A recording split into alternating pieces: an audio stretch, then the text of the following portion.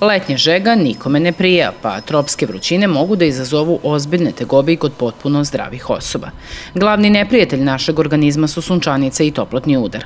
Na visoke temperature posebno su osetljiva deca, a naročito bebe, pa zato u danima kada je temperatura izuzetno visoka, bebe šetajte samo u ranim jutarnjim ili kasnim popodnevnim satima. Ni starija deca, ni odrasle ne bi trebalo da izlaze na sunce između 10 i 18 časova, posebno ne bez zaštite. Sunčanica nastaje prilikom direktne ekspozicije, odnosno prilikom direktnog izlaganja sunčevim zracima. Znači, vi možete sunčanicu da dobijete uh, isključivo ako izađete na otvorena. A toplotni udar može da nastane i u kolima i u uh, zagušljivoj toploj prostoriji i kakve su razlike kod simptomatologije kod sunčanice i kod toplotnog udara. Sunčanica i toplotni udar, i jedno i drugo idu sa visokom temperaturom.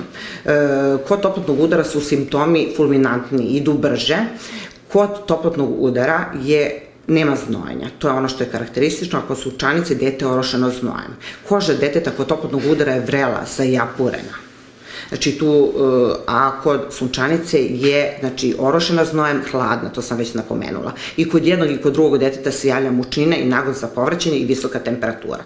Visoke temperature i velika vlažnost vazduha leti mogu da predstavljaju ozbiljnu pretnju po zdravlje svih, posebno starih osoba i hroničnih bolesnika, pa je jako važno da budemo svesni potencijalnih opasnosti koje dolaze sa produženim boravkom u prirodi. Ono što je karakteristično za samu sunčanicu i toplotni udar, u suštini to je e, maltene jedno isto s tim što je toplotni udar jačeg intenziteta, znači tu je stepen oštećenja veći, dok od sunčanice su tegobe blaže, oni se obično u tom uh, ovaj, slučaju osete e, glavobolju jaku, mučninu, gađenje. E, ja sam radila ovog vikenda, bila sam dežurna, pa je bilo slučajeva da su ljudi dolazili da se žale, e, oni su zapravo došli, imaju hipertoničari su, pa su hteli da izmere pritisak jer ih boli glava.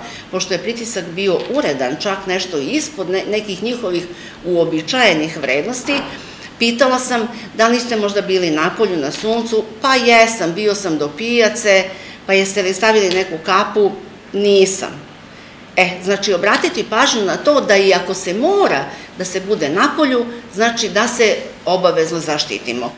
Ukoliko se javi blaga glavobolja ili mučnina, osoba treba da popije aspirin, uzima više tečnosti i da odmori. Ukoliko su simptomi izraženi, onda se obavezno javiti lekaru. Pedijatra smo upitali ukoliko dete dobije sunčanicu, koje su prve mere koje roditelj treba da preduzme.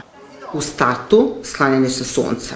Drugo, davanje antipiretika, raslađena, a mogu su klimatizovana prostorija, ako nije klimatizovana prostorija koja je raslađena, e, gde je prisutna promaja, u tom slučaju nema, nema Znači, možemo da otvorimo prozor, ali da ulazi topao vazduh i ništa na taj način ne postižemo. E, ostavljanje dece u autu, to bi malo skrenulo pažnju, jer smo imali par nekih, nažalost, situacija. Znači, nekom detetu je dovoljno i 15 minuta da ostane u autu ovaj, na visokim temperaturama koje idu preko 38 stepeni. E, ovaj, ako primetimo da dete somnolentno, da gubi svest, e, da posle svega ovoga što sam pobrala, davanja nekog sredstva za rehidrataciju, masiranje e, nekim peškirima hladnim, davanje sredstva za temperaturu ne pomaže. E, ja sam jedna od opreznih pedijatara, mislim, ovaj, stojim čvrsto iza onoga što pričam, ali mišljenja sam da tu nema prostora za neko veliko čekanje i mislim da lekari treba da se obrade, e, obrate, ja se izvinjam, nadležnoj zdravstvenoj ustanovi, odnosno najbližem pedijatru. Najbolji način da se izbegne sunčanica ili toplotni udar veoma je jednostavan. Ne izlagati se previše suncu, glavu zaštititi svetlim šeširom i piti puno tečnosti. Savet lekara je da se u letnjim mesecima hranimo lagano sa što više voća i povrća, što manje začinjene hrane, a izbegavati alkohol i gazirana pića.